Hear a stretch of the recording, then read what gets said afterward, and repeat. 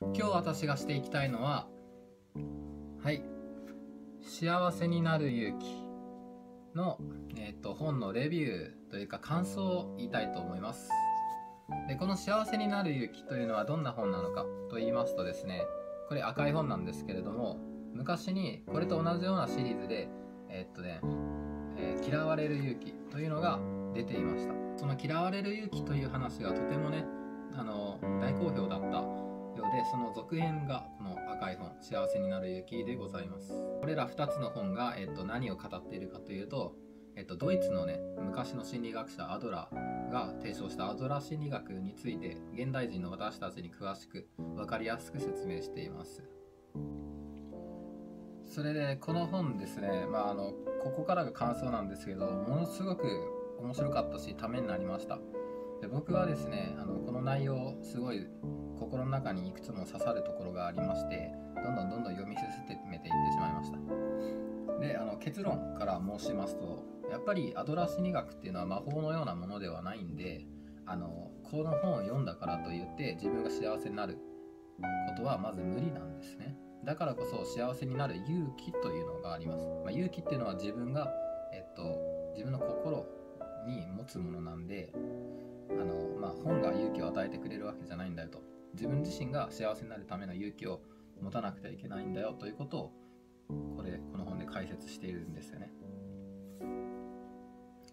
じゃあその内容はっていうとどんな内容が書かれているか、まあ、すっごい多いんでぜひ読んでほしいんですけれどこの現代人があの社会で生きる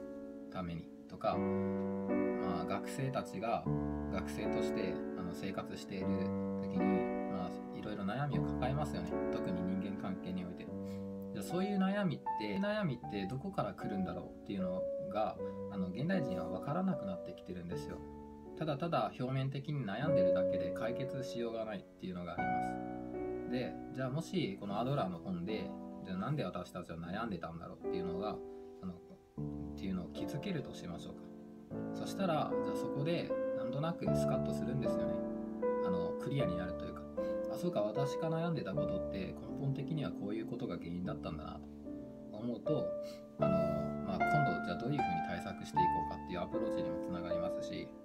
もう少しモヤモヤするだけじゃなくて気持ちを大きく持てるということにもつながります。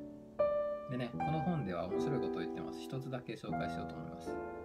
全ての悩みは人間関係の悩みであるということも言っています。人間っていうのはそうですねあの何万年前からか知らないんですけどやっぱ集団生活をして生きてきた種族ですよね。なのでまあキリンのように長い首もないから、えっと、高いところにあるものも取れないしライオンのような牙もないからえっと、肉食獣としてあの草食動物を捉えることもできないし他にもですね亀のような甲羅がないから 人間は身を守ることができないです。じゃあ人間の武器って何だろうっていうことになるんですけどそれはやっぱ集団であの生活をすることなんですよね。まさにあの3人集まれば文殊の知恵のようなもので人間っていうのはやっぱり集団の中でしか生きれないというふうにこの本は言っています。であるならば私たちが悩みあの抱える悩みっていうのはその集団に、えっと、結局議決するんですよ。はい。ちょっと難しい話なんですけどなんか関係ないだろうと思っている悩みだったとしても結局集団の中にで抱える悩みだから人間関係の悩みなんだと言っています、まあ、あくまでそういう解釈っていうのはあのアドラーが提唱した解釈なんですけど結構僕が読んでて斜め上からの解釈解釈だなって思いました。だけどもやっぱり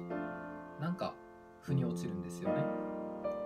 はい。ですごい夢中になって読み進めていってしまったわけなんですけどもしあなたが人間関係だとかあの今の生活で悩んでいることがあったとしてでそれでとても行き詰まっているんだとしたらあのぜひこの本を手に取って読んでいただければと思います。まあ、先ほども言いました通りこの本を読んだからといって幸せになれるか悩みが全て解決されるかといったらされないです、まあ、ですがあの自分自身が自分の幸せを手に入れるために、えっと、動き出すための家具を手に入れることができるんじゃないかなと思います。であのこっからが結構僕のあの何でしょう。面白い感想なんですけどこの本を読んだ後にあの僕と付き合ってる彼女からあの随分態度が変わったというふうにも言われました、うん、